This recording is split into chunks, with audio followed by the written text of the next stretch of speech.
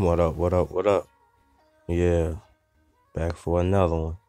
Let's make Jamaican jerked pompano fish. Oh yeah. Today's featured product is Value Markets Pompano Fish. And this freestyle recipe was inspired by Ricky Cherry. Let's get ready to get this started. We got some Jamaican jerk seasoning. We got some Jamaican jerk seasoning uh, paste which was really good, and some Jamaican jerk sauce. I didn't use that though, but uh, that's what I picked up today. And we got our pompano fish. Never tried this, but uh, we're gonna make something amazing. And uh, go check out Ricky Cherry on Facebook. He's the one who inspired this recipe. So shouts out to you, homie. All right, we got our fish all washed off and uh, ready to be cleaned out. So, uh, really nice, pretty looking fish. About to be dinner, little buddy. anyway, we got our uh, fish cleaned off here, and we're gonna get ready to get these guts out so we can get this seasoned up, get it in the oven, get it cooked up. It's a quick little freestyle recipe on the Ghetto Gourmet today. And we're making, like I said, Jamaican jerked pompano. Uh, if you haven't tried this fish, it's a, it's a really good fish. With sweet like lobster, man. Nice flaky, perfect fish. All right, we got our fish cleaned out.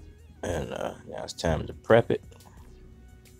Get ready to bake this sucker off. And uh, I'm hungry, man. You keep playing with that pan, man. You need to go get that done. I'm hungry, man. Blood pressure, blood sugar's dropping.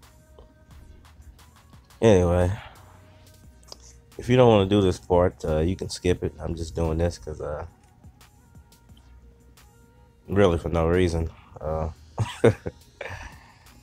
I just felt like removing it, you know, just in case. If I was making this for my kids, they definitely won't want all this extra on there. So remove the fins or leave them on for uh, presentation. Some people like to look at the whole fish. So anyway, let's put some slices in this uh, fish so that it uh, absorbs more of the flavoring and seasoning we're going to put on it.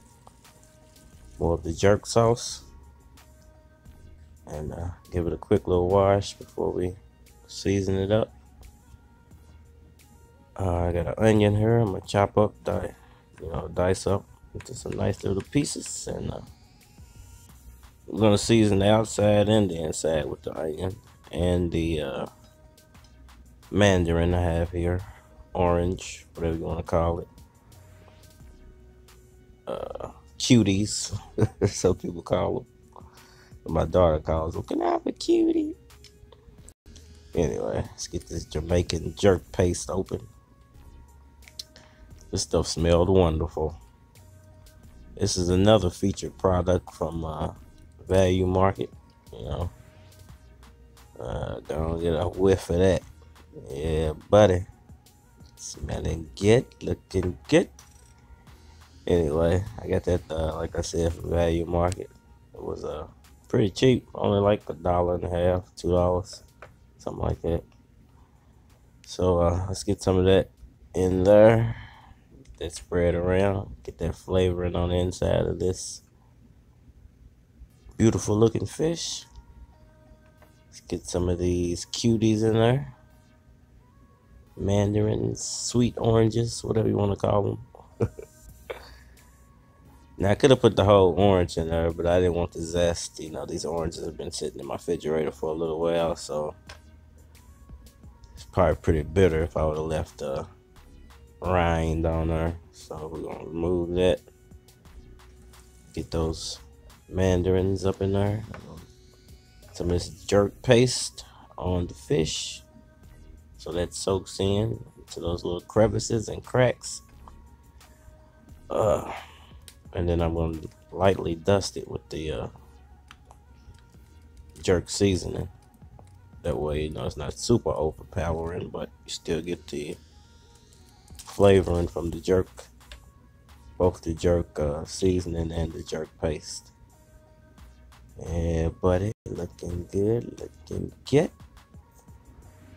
And uh, let's get some olive oil in there. You can use whatever oil you have on hand. Vegetable, olive oil, coconut. Coconut probably pretty, pretty good, but I didn't have any, so use whatever you have on hand. And uh, go season this other side over here.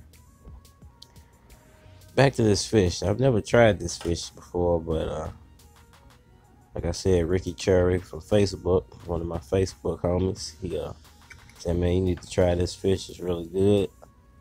I said, I'm to check around, see if I can find it. If I can, I got you, buddy. And, uh, man, I'm glad I did because this fish tastes like a lobster. Just get a lot more and it's a whole lot cheaper. And, uh, it's just delicious, man. Uh, anyway, I topped it with that, uh, orange juice. And we're gonna put some more onion on here just for some extra flavor. Gonna get some of that in the pan just to get the aroma working. And off camera, I added a little bit of water to the pan. So, uh, you know, that onion's actually gonna season that water and that's gonna soak in too. So, oh yeah. All right, let's get ready to bake this sucker off at uh 420 is what I put it on for about 25 minutes. And uh, you can bake this covered or uncovered. Uh, it's your choice, really. I just wanted the crispy skin, so I left it uncovered. Yeah, buddy. 25 minutes later, here we have our finished product. Looking good. Looking good. Man, man, man. If smell-o-vision was real, you'd be slobbering on my TV, and I'd have to put you out. But go on and soak that up for a second.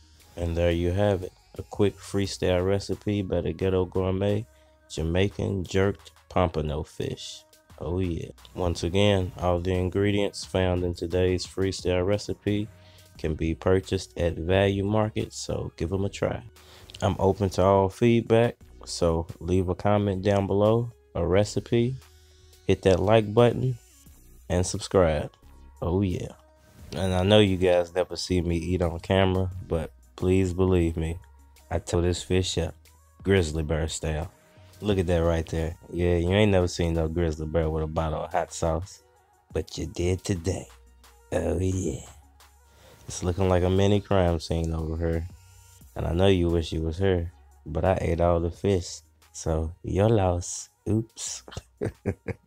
Until next time, you guys. Hope you enjoyed the Ghetto Gourmet's freestyle recipe. See you guys later. Keep on cooking.